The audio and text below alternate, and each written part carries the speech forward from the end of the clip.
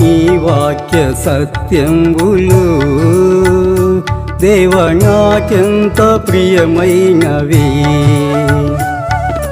వెండి పసిడి కన్న సర్వా సంపద కన్న వెండి పసిడి కన్న సర్వా సంపద కన్న ప్రాణంబు కన్న వాక్యమే మిన్న ప్రాణము కన్య.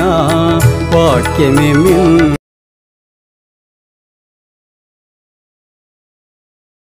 ఇరవై నీవు ఏలికతో భోజనము చేయ కూర్చుండిన ఎడల నీ ఎవరి సమక్షమున ఉన్నావో బాగుగా యోచించుము.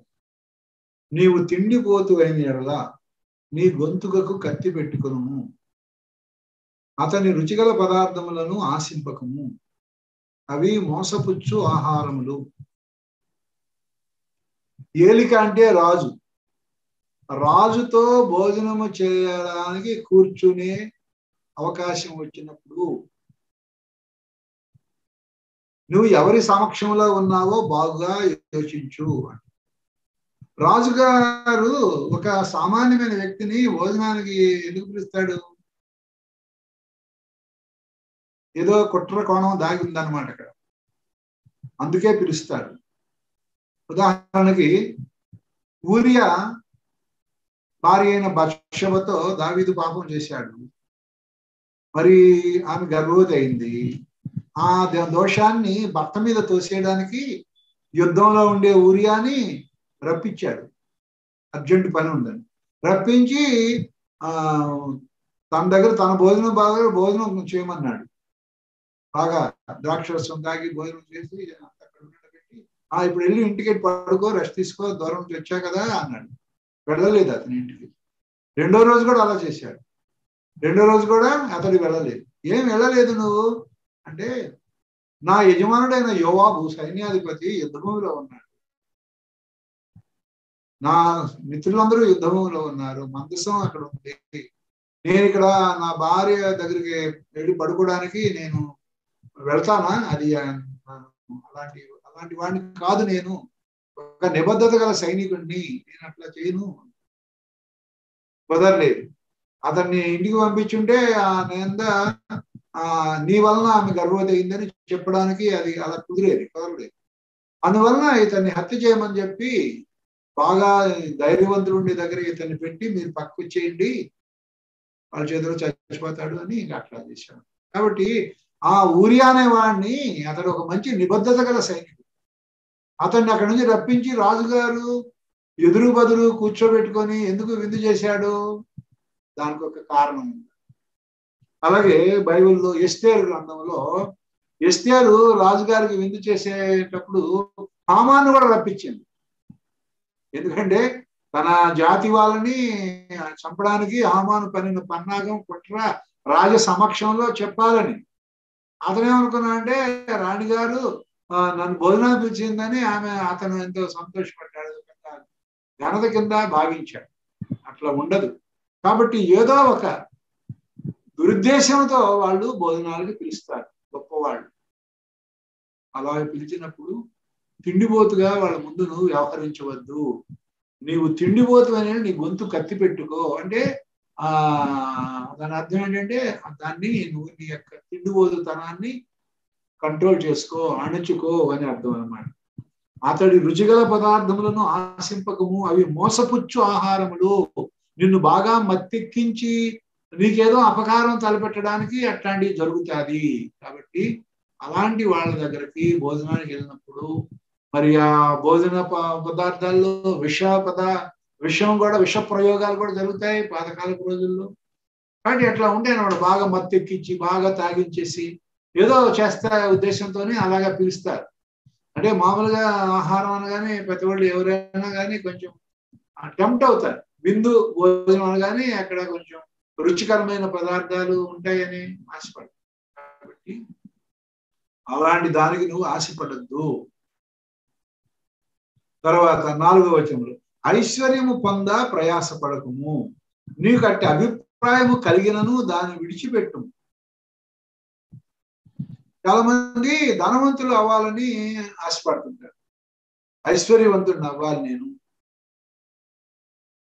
ఐశ్వర్యం అవ్వాలని పొందాలని ప్రయాస పడకూడదు ఆ బైబిల్లో ఉంది తిమోతికి రాసిన పత్రికలో ఆరు అధ్యాయం అనుకుంటాను. తిమోతికి రాసిన పత్రిక ఆ ధనాపేక్ష సమస్తమైన కీడులకు మూలము అని చెప్పి అక్కడ ఏమన్నాడంటే తొమ్మిదవ వచనం. ఏడు ఎనిమిది కలిసి ఉన్న ఏడు నుంచి చదువుతున్నాను. మనం ఈ లోకంలోనికి ఏమీ తేలేదు. దీనిలో నుండి ఏమీ తీసుకొని పోలేము. కాగా అన్న వస్త్రములు గలవారమై ఉండి వాడితో తృప్తి పొంది ఉందాము. ధనవంతులకుడికి అపేక్షించువారు శోధనలోను ఉరిలోను అవివేక యుక్తములను హానికరములైన అనేక దురాశల్లోనూ పడదు అటువి మనుషులను నష్టములోను నాశనములోను ముంచివేయి. ఎందుకనగా ధనాపేక్ష సమస్తమైన కీడులకు మూలం. కొందరు దాన్ని ఆశించి విశ్వాసం నుండి తిరిగిపోయి నానా బాధలతో తమను తామే పొడుచుకొని విశ్వాసం నుండి కూడా తొలగిపోతారు కొంతమంది. ఎంతో భక్తి గల వాళ్ళు అనుకునే వాళ్ళు వాళ్ళకి వచ్చి పడ్డాయనుకోండి ఎక్కడి నుంచి అన్న డబ్బులు. దాన్ని బట్టి వాళ్ళు దారి తగ్గిపోతారు కాబట్టి ధనాపేక్షకులుగా ఉండకూడదు ఐశ్వర్యవంతులు అవ్వాలని ఏదో మన అవ్వాలకి అంటే మనకి యాభై అవసరం అయితే నూట యాభై ఉంటే పర్వాలేదు. కానీ ఐదు వందలు ఉన్నా పర్వాలేదు. ఐదు వేలు ఉండకూడదు. మన అవసరం యాభై. అట్లాగా ఉండాలన్నమాట. అంటే ఆ సంతుష్టి సహితమైన దైవభక్తి కలిగి ఉండాలి. ఎక్కువ ఆ అంటే ధనాపేక్ష ధనం ఎక్కువ ధనం మామూలు లోకంలో సామెత ఉంది ధనమెక్కిన మదమెక్కును. కాబట్టి డబ్బు ఎక్కువ వలన మనకి గర్వం పెరుగుతుంది దానివల్ల అనేక అనర్థాలు వస్తాయి. కాబట్టి అదనమాట. మనకి ఎక్కువగా ఉండడం వలన దాని వల్ల కూడా చెడిపోతారు మనం చెడిపోవచ్చు మన పిల్లలు కూడా చెడిపోవచ్చు. కాబట్టి మన అవసరానికి తగినట్టుగా దేవుడు మనకి ఇస్తే అంతే చాలు అనుకోవాలి. ఇక్కడ అంటున్నాడు ఐశ్వర్యము పొంద ప్రయాసపడకుము. నీకు అట్టి అభిప్రాయం కలిగినను దాన్ని విడిచిపెట్టుము ఒక ఆయన ఒక బ్యాంక్ మేనేజరు అన్నాడంట మా నాన్న పేదవాడు నన్ను ఏదో చదివించాడు నేను బ్యాంక్ ఆఫీసర్ అయ్యా. నేను నా పిల్లలకి కోటి రూపాయలు నేను వాళ్ళకి అందించాలని చూస్తున్నాను. అది నా లక్ష్యం. Before I retire I must earn at least one crore rupees అని అన్నాడంట చూసారా? అట్లాగుంటారు ఒక్కొక్కళ్ళు. కొన్ని యాంబిషన్స్ కలిగి ఉంటారు. అలాగే రాజకీయ నాయకులు ఒక టర్మ్లో నేను ఇంత వంద కోట్లు వాళ్ళు టార్గెట్ పెట్టుకో ఒక ఎమ్మెల్యే ఆ ఒక టర్మ్లో వంద కోట్లు టార్గెట్ పెట్టుకుంటారు.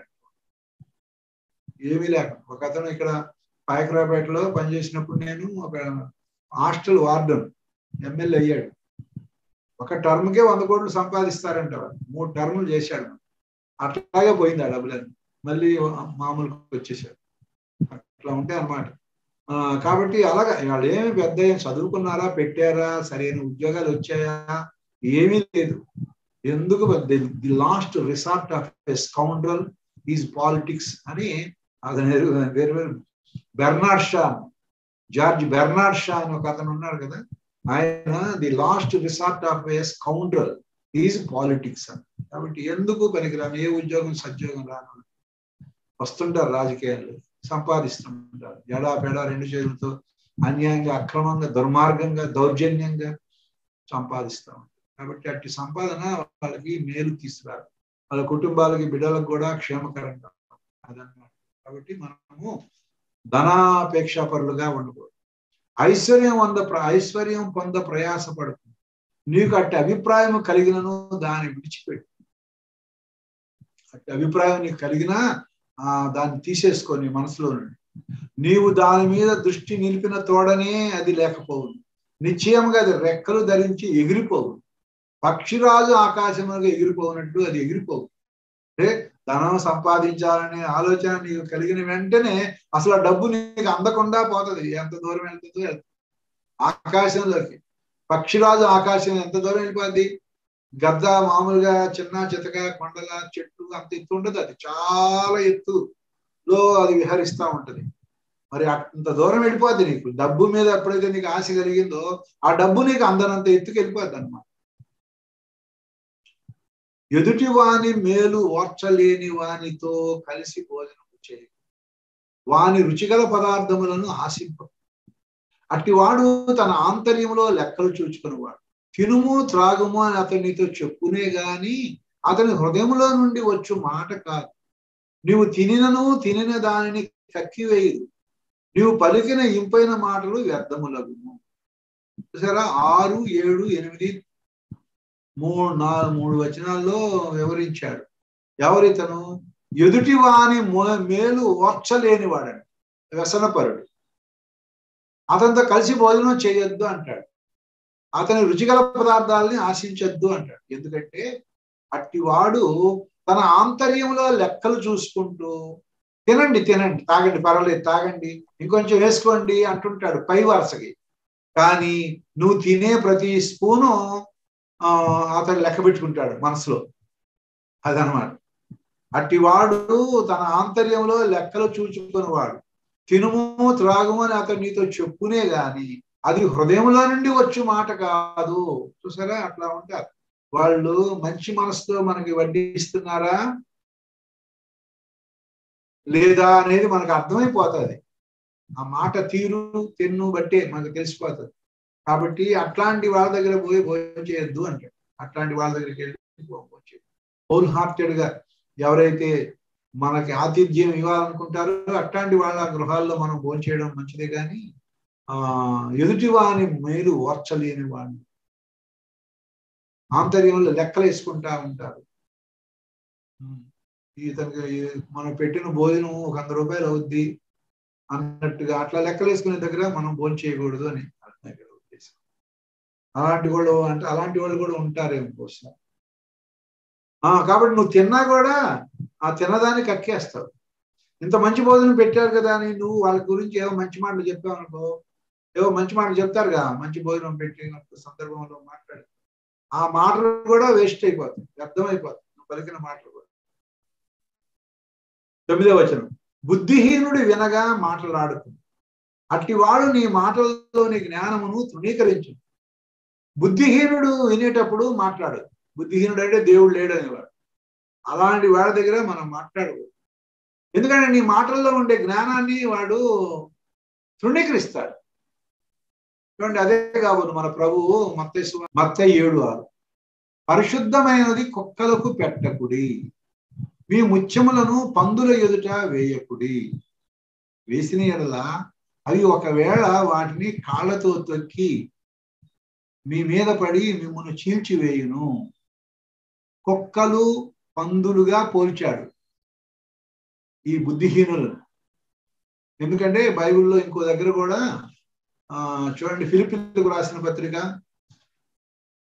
మూడో అధ్యాయం అనుకుంటా. అక్కడ ఏముందంటే మూడో అధ్యాయం రెండో వచనంలో కుక్కల విషయమై జాగ్రత్త పడుడి. దుష్టులైన పనివారి విషయమై జాగ్రత్త పడు ఈ ఛేదనను ఆచరించు వారి విషయమై జాగ్రత్తగా ఉంది అంటే కుక్కలు అన్నాడు ఆ తర్వాత దుష్టులైన పనివారు అన్నారు. దుర్బోధకులని కుక్కలతో పోల్చాడు అంటే ఏమిటి వీళ్ళు? సున్నతి ఆచరించాలి అంటారు కదా యూదులు. యూదుల్లో ఆ సున్నతి ఆచరిస్తేనే మీరు యేసుప్రభు నమ్ముకున్నట్టు మీరు రక్షణ పొందినట్టు అని చెప్పేవాళ్ళు కొంతమంది ఉన్నారు. అలాంటి వాళ్ళు దేవుని పనిని చెడగొట్టే వాళ్ళు దుష్టులు. ఆ దుష్టుల్ని కుక్కలతో పోల్చాడు అన్నమాట అలాగే ప్రకటన గ్రంథంలో మనం చూసినట్లయితే ఆ ప్రకటన గ్రంథం చూడండి. ఆఖరి అధ్యాయంలో ఇరవై రెండో అధ్యాయం పదిహేనో వచనం. కుక్కలను మాంత్రికులను వ్యభిచారులను నరహంతకులను విగ్రహారాధకులను అబద్ధమును ప్రేమించి జరుగు జరిగించు ప్రతి వాడును వెలుపట ఉందురు అంటున్నాడు. పరలోకంలో వీళ్ళందరూ ఉండరు. ఎవరు కుక్కలు మాంత్రికులు వ్యభిచారులు? అంటే కుక్కలు మామూలు డాగ్స్ అని అర్థం కాదు ఇక్కడ. ఇక్కడ కుక్కలు అని ఎవరితో పోల్చాడంటే ఇది దుష్టులేని పనివారు నంబర్ వన్ నంబర్ టూ ఎవరంటే ద్వితీయోపదేశ కాండం ఇరవై మూడో అధ్యాయం పద్దెనిమిదో వచ్చి పడుపు సొమ్మునే గాని కుక్క విలువనే గాని బ్రొక్కుబడిగా నీ దేవుడైన యహోవా ఇంటికి తీయకూడదు. ఎలి అనగా రెండును నీ దేవుడైన యహోవాకు హేయములు. పడుపు సొమ్ము అంటే తెలిసి? అర్థమవుతుందిగా? కుక్క అంటే మేల్ ప్రాస్టిట్యూట్స్ అని ఉంది. అంటే మగ వ్యభిచారులు ఉంటారు కదా ఆడవాళ్ళు ఉన్నట్టు మగవాళ్ళు కూడా ఉంటారు. అలాగా సంపాదించిన డబ్బుని ఆ మొక్కుబడిగా దేవుని మందిరంలో వేయకూడదు అని చెప్పాడు. అది అలా వాళ్ళ అన్నమాట కుక్కలంటే కాబట్టి ఇప్పుడు ఇక్కడ ఆ మీ మీ యొక్క ముత్యాలను పందుల ముందు కుక్కల విషయమే జాగ్రత్త పడి మీ యొక్క ముత్యాలని ఆ పందుల ముందు వేయబాకండి. వాటికి దాని విలువ వాటికి తెలియదు. కాబట్టి అలాగే మనం కూడా సువార్త అందరికీ చెప్పక్కర్లేదని దీన్ని బట్టి నాకు అనిపిస్తుంది. ఎవరికి ఆసక్తి ఉంది శ్రద్ధ ఉంది దేవుడు అంటే మోక్ష అపేక్ష ఎవరికి ఉన్నది అట్లాంటి వాళ్ళకి చెప్పాలి. ఆ అంతేగాని మామూలుగా అందరికీ చెప్పకూడదు. విన్నా వినకపోయినా ఆ చెప్పకూడదు. మేము ఒకసారి గొలుగొండ అనే ఊరుంది నర్సీపట్నం పక్కనే పదిహేను కిలోమీటర్ ఆ ఊరిలో శ్రీరామనవమి సందర్భంగా సెలవని వెళ్ళాను స్వార్థ చెప్పడానికి. అక్కడ ఒకడు అన్నాడు ఏమండి మా పండుగలు కూడా మమ్మల్ని ప్రశాంతంగా చేసుకునేవరా? అని చెప్పాడు. ఆపండి మీ పాటలు మీ మాటలు. నీకెందుకు అలా అన్నప్పుడు వాళ్ళు సువా చెప్పడం? ఆపేశారు కాబట్టి అట్లా ఉంటారు వాళ్ళకి ఇష్టం ఉండదు. ఇష్టం లేనప్పుడు ఎందుకు మనం ఏదో ఒక దాన్ని ఏమంటారు ఒక సెంటిమెంట్ లాగా సైకలాజికల్ సాటిస్ఫాక్షన్ కోసం ఏదో చెప్పాము పత్రికలు ఇచ్చేసి వచ్చామంటే సమయం ఉంది. వాళ్ళు మంచి మనసుతో వింటే రిసీవ్ చేసుకుంటారు. మంచి మనసుతో విన్నాళ్ళకి మనం ఎందుకు అలా చెప్పడం? ఇంకా కొన్ని గ్రామాలకు వెళితే వాళ్ళు పెద్దగా మైక్ పెట్టేస్తారు ఆ గుడిలో ఉండే మైక్. మన మాట వినబడకుండా మన పాట వినబడకుండా పెద్దగా మైక్ పెట్టేస్తారు. అట్లా ఉన్నారు. ఇది వరకు అట్లా ఉండేది కాదు. నేను చాలా గ్రామాలు తిరిగాను మారత్వం ఉన్నప్పుడు ఇక్కడ అక్కడ. గ్రామంలో అందరూ పోగోయేవాళ్ళు ఒక యాభై మంది దాకా పోగోయేవాళ్ళు చక్కగా వినేవాళ్ళు. పత్రికలు ఇస్తే తీసుకునేవాళ్ళు. ఇప్పుడు అట్లా లేదు. గ్రామాల్లో వాతావరణం పరిస్థితి అట్లా లేదు. ఆ కాబట్టి అందుకే బహుశా సామెతల గ్రంథంలో చెప్పిన మాట కూడా అందులో ఆ తొమ్మిదవ ఇరవై మూడు తొమ్మిది ఉంది బుద్ధిహీనుడు వినగా మాట్లాడకు. అట్టివాడు నీ మాటల్లోని జ్ఞానమును తృణీకరించు ఎందుకు? మనం చెప్పే ఈ జ్ఞానయుక్తమైన జీవమగల మాటలు దేవుని మాటలు ఎందుకట వాళ్ళకి అంతగా మనం చెప్పడం? కాబట్టి ఆసక్తిగా ఉండే వాళ్ళకి చెప్పమని. పురాతనమైన పొలిమేర రాతిని తీసివేయకము. పురాతన కాలంగా ఏబడిన పొలిమేర రాళ్ళు ఉంటాయి గ్రామాలకి పొలాలు వాటిని విభాగించి అలా చేసి ఉంటారు. అట్లాంటి వాటిని మనం తొలి తొలగించకూడదు. తల్లిదండ్రులు లేని వారి పొలములోనికి నువ్వు చొరబడకూడదు. తల్లిదండ్రులు లేని వాళ్ళు ఉంటారు వాళ్ళకి ఏదో పొలం ఉంటది. ఇక వీళ్ళకి ఎవరు లేదు తల్లి లేదు తండ్రి లేదు ఎవరికి వీళ్ళకి ఏం తెలుసు ఆ పొలాల హద్దులు అని మీరు అందులో ప్రవేశించొద్దు ఆ హద్దురాళ్ళు మార్చొద్దు. ఎందుకు మార్చొద్దు అంటున్నాడంటే వారి విమోచకుడు బలవంతుడు వాళ్ళకి తల్లిదండ్రులు లేడు. కానీ వాళ్ళ పక్కన వాళ్ళ పక్షంగా ఎవరుంటారు? దేవుడే ఉంటాడు. వారి విమోచకుడు బలవంతుడు. ఆయన వారి పక్షమున నీతో వ్యాజ్యమాడు దేవుడు ఉంటాడు వాళ్ళ వాళ్ళ పక్షం. దిక్కులేని వారికి దేవుడే దిక్కు. ఆ మాట నిజమే. దేవుడు ఉంటాడు వాళ్ళ పక్షం. నీవేదో వస్తుంది మాయదారి రోగం. వాళ్ళ స్థలం ఆక్రమించుకుంటే కనుక. కాబట్టి వాళ్ళకి ఏం లేదు అండా దండా లేదు అనుకుని చేస్తే వాళ్ళ పక్షంగా దేవుడు ఉంటాడు. ఇవన్నీ పరలోకం నుండి దేవుడు గమనిస్తూ ఉంటాడు. మన చర్యలు మన చేష్టలు మన అక్రమాలు దౌర్జన్యాలు దేవుడు గమనిస్తూ ఉంటాడు. ఉపదేశం మీద మనసు ఉంచు.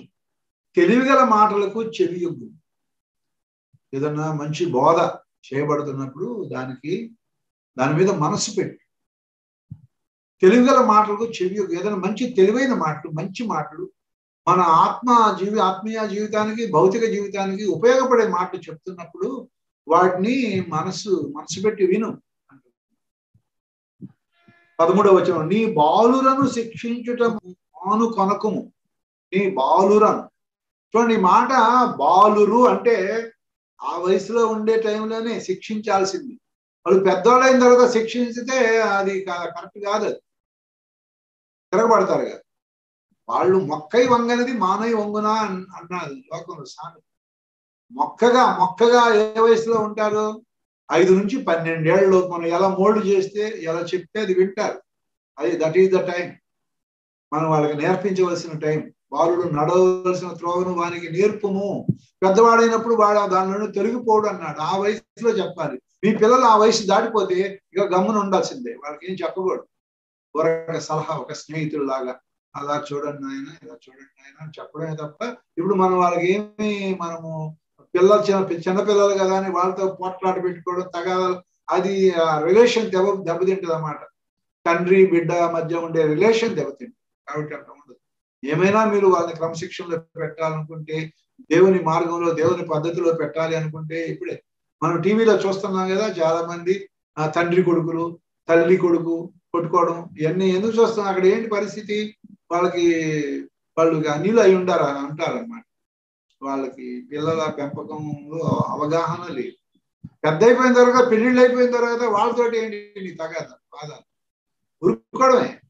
అది ఏమన్నా కానీ దేవుడికి తప్పకి చూరుకోవడం అంతేగాని ఆ సమయంలో దేని గురించి కూడా వాదోపవాదం అదే కాబట్టి నీ బాలురన్ బాలురుగా ఉన్నప్పుడే శిక్షించటం అప్పుడే శిక్షించాలి అయితే అప్పుడే శిక్షించడం రక్తంతో శిక్షించాలి కూడా ఏదో కత్తులు కటాలు తీసుకొని కర్రలు తీసుకొని ఏడో తగలరాని వాడు తగులుతుంది చచ్చిపోతాడు.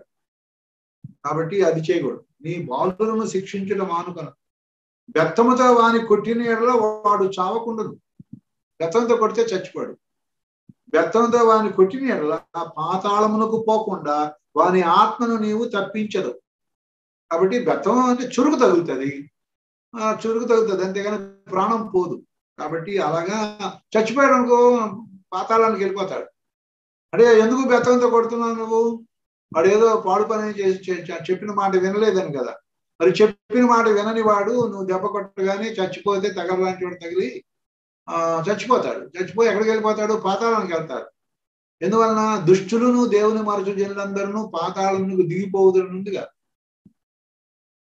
వాడు తండ్రి బెత్తంతో లేక కర్రతో కొట్టే పరిస్థితి వచ్చిందంటే ఏదో అవిధేయుడిగా ఉన్నాడు. నువ్వు కొట్టావు. కానీ వాడు తగలలాంటి వాడి దగ్గర చచ్చిపోయాడు. పాతాళానికి వెళ్ళి. కాబట్టి అట్లా కొట్టకూడదు. అని చెప్పాడు. పదిహేను వచనం నా కుమారుడా నీ హృదయమునకు జ్ఞానము లభించిన నా హృదయము కూడా సంతోషించు.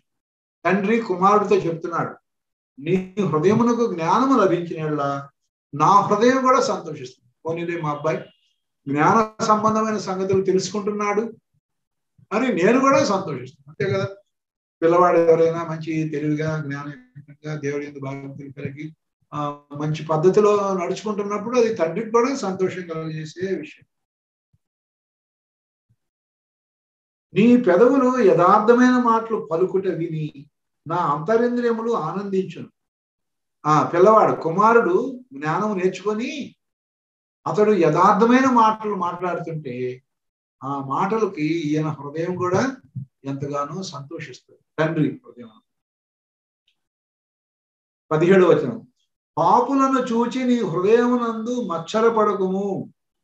నిత్యము యహోయందరు భయభక్తులు కలిగి ఉండుము. పాపులు అయినా వాళ్ళు కూడా వర్ధిల్లుతుంటారు ఈ లోకంలో. బాగా పచ్చగా ఉంటారు కదా వాళ్ళు. చూడండి ఆ ముళ్ళ చెట్లు కూడా ఎంత ఏపుగా పెరుగుతుంటాయి. ఎవరు వేయలేదు వాటికి వాటికి ఎవరు ఏమీ చేయరు. నీళ్ళు పోసేవాళ్ళు లేరు దాన్ని కత్తిరించేవాళ్ళు లేరు ఎరువు వేసేవాళ్ళు లేరు. ఎలాగ ఎరుగుతాయి అంత ఏపుగా ఎదుగుతాయి ఆ పళ్ళ చెట్టు. అట్లాగే దుష్టులుగా ఉండేవాళ్ళు కూడా బాగా సారవంతంగా బాగా ఏపుగా ఎదిగిన ముళ్ళ కంపలాగా వాళ్ళు కూడా ఎదుగుతూ ఉంటారు. ఆ కాబట్టి వాళ్ళని చూసి నువ్వు మచ్చరపడొద్దు అసూయపడొద్దు నీ మట్టుకు నీవు నిత్యము యహోవా ఎందు భయభక్తులు కలిగి ఉండు. నువ్వు చేయవలసిందల్లా నీ ముందున్న లక్ష్యం నిత్యం ఎల్లవేళ దేవుని ఎందు భయభక్తులు కలిగి ఉండడాన్ని నువ్వు విస్మరించకూడదు అశ్రద్ధ చేయకూడదు. తిమోతి పత్రికలు అనుకుంటాను అక్కడ ఒక మాట ఉంది. దేవభక్తి విషయములో నీకు నీవే సాధకము చేసుకో. ఒకరితో పోటీ పెట్టుకో. వాళ్ళు రాలేదు ఆదివారం. నేను రాకపోతే పోకపోతే మాత్రం ఏమైంది అనుకోకూడదు. వాళ్ళతో ఎందుకు నీకు పోటీ? నీకు నీవే నీ భక్తిని కాపాడుకోవడానికి నువ్వు చూసుకోవాలి. అంతేగాని వాళ్ళు ప్రార్థనకి ప్రార్థన కూటానికి మనమే కనపడుతున్నాం. ఎవరూ రావట్లేదు సంఘంలో అని అనుకోకండి. కాబట్టి అలాగా చూ అందుకనే బైబిల్లో ఉంది హిబ్రి పత్రిక పదో అధ్యాయంలో కొందరు మానుకొనుచున్నట్టుగా సమాజముగా కూడుట మానక ఆ దినము సమీపించడం మీరు చూచుకొలది మరి ఎక్కువగా అలాగు చేయుచు ఒకరినొకరు పురికొల్పుటకు ప్రోత్సహించుకున్నట్టుకు ఆలోచించండి అని ఉంది అక్కడ. కాబట్టి మధ్యపూటాలు దినాల్లో సంఘస్థులు సహజంగా ఆ, రారు. మధ్యపూటాలకు రారు. ఆదివారం క్రైస్తవులని ఎప్పుడో చెప్పిన బోధ. అది ఇప్పుడు నెరవేరుతుంది. ఆదివారం కనిపిస్తారు ఆయన పొద్దున ఒక స్పీకర్తో మాట్లాడుతుంటే ఆదివారం మధ్యాహ్నం నుంచి సోమవారంలోకి వెళ్ళిపోతారంట క్రైస్తవులందరూ. శనివారం సాయంకాలం నుంచి లేక ఆదివారం ఉదయం నుంచి ఆదివారం మూడు వచ్చేస్తుంది. ఆదివారం మూడు. ఈరోజు ప్రభు దినం పరిశుద్ధ మనం పెద్దల వెళ్ళాలి దేవుని సన్నిధిలో. ఒక భక్తి ఆ ఆరవశ్యము ఆవహిస్తుందట ఆదివారం ఉదయం నుంచి. మధ్యాహ్నం నుంచి మళ్ళీ సోమవారంలోకి వెళ్ళిపోతారు. అలా అతను విజయవాడలో ఏంటి? విజయవాడ అతను చెప్తున్నారు బహుశా టౌన్లలో ఉండే వాళ్ళకి ఇట్లాంటివి కొన్ని తెలుస్తాయేమో అనుకో. మనం మారుమూల ఉన్నాం మనకు తెలియదు. కాబట్టి నిత్యము యహోయందు భయభక్తులు కలిగి ఉండము.